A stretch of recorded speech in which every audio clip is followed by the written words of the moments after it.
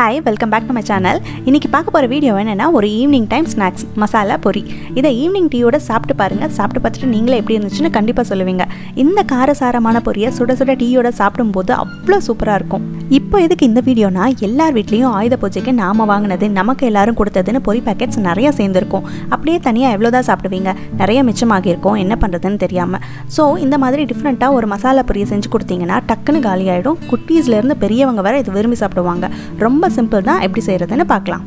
ஒரு பெரிய கடாய் எடுத்துகிட்டு ஆயில் மூணு டேபிள் ஸ்பூன் அளவு ஊற்றிட்டு வேர்க்கடலை எவ்வளோ வேணுமோ அவ்வளோ எடுத்துக்கோங்க. அதை தோல் எடுக்காமல் கூட போட்டுக்கலாம். உங்கள் இஷ்டம் தான். நூறு கிராம்ல இருந்து இரநூறு கிராம் வரை கூட போட்டுக்கலாம். இது கூட சாப்பிடும்போது ரொம்பவே நல்லாயிருக்கும் அதை போட்டு நல்லா வறுத்துக்கலாம். லைட்டாக கலர் சேஞ்ச் ஆகும்போது கடுகு உளுத்தம்பருப்பு கடலப்பருப்பு மூணும் மிக்ஸ் பண்ணி எடுத்தது நாலு டேபிள் ஸ்பூன் அளவு இதில் போட்டுக்கலாம்.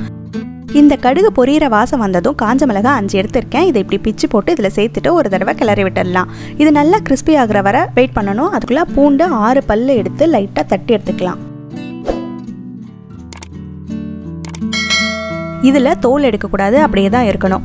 அதுதான் வாசமே. கூடவே ஒரு கைப்பிடி அளவு கருவேப்பிலையும் இதில் போட்டுக்கலாம். இது எல்லாம் தான் இந்த மசாலா பொரிக்கு ஹைலைட்டே கடுகு நல்லா பொரியணும் மிளகாவும் நல்லா மொறுமொறுன்னு பொரிஞ்சிருக்கணும் அப்புறம் பூண்டு நல்லா வதங்கியிருக்கணும் கடைசியாக கருவேப்பிலையும் நல்லா பொரிஞ்சு கிறிஸ்பி ஆகணும். இந்த நாலு ஐட்டம்ஸ் தான் இதுக்கு ரொம்ப முக்கியம். இதுக்கப்புறம் ஃப்ளேமை சிம்மில் வச்சுட்டு உப்பு அரை டீஸ்பூன் மஞ்சத்தூள் அரை டீஸ்பூன் மிளகாத்தூள் அரை டீஸ்பூன் போட்டு நல்லா கலந்து விட்டுடுங்க.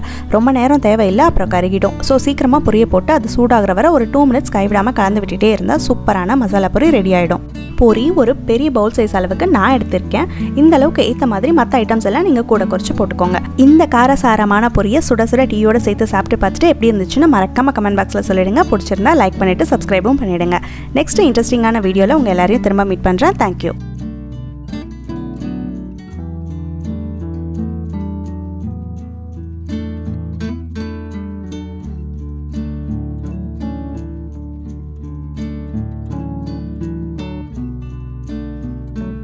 இந்த வீடியோ உங்களுக்கு பிடிச்சிருந்தா லைக் பண்ணுங்க. என் சேனல் பிடிச்சிருந்தா சப்ஸ்கிரைப் பண்ணுங்க.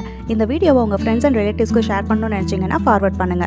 சஜஷன்ஸ் அண்ட் காம்ப்ளிமெண்ட்ஸ் ஏதாவது இருந்துச்சுன்னா கமெண்ட் பாக்ஸில் சொல்லுங்க. திரும்ப உங்க எல்லாரையும் நெக்ஸ்ட் வீடியோவில் மீட் பண்ணுறேன் தேங்க்யூ